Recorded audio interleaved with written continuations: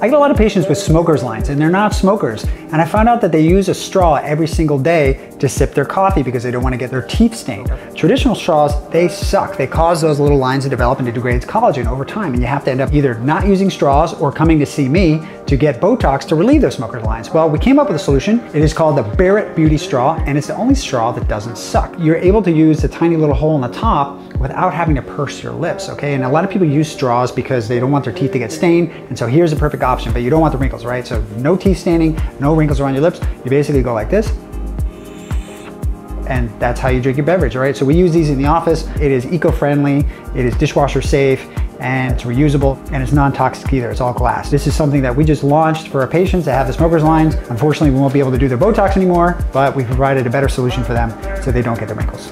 Barrett Beauty Straw, the only straw that doesn't suck. Perfect.